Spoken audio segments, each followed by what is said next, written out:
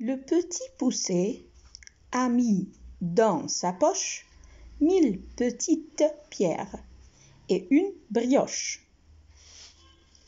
Un pas, une pierre, une pierre, un pas. Il trace sa route, il la retrouvera.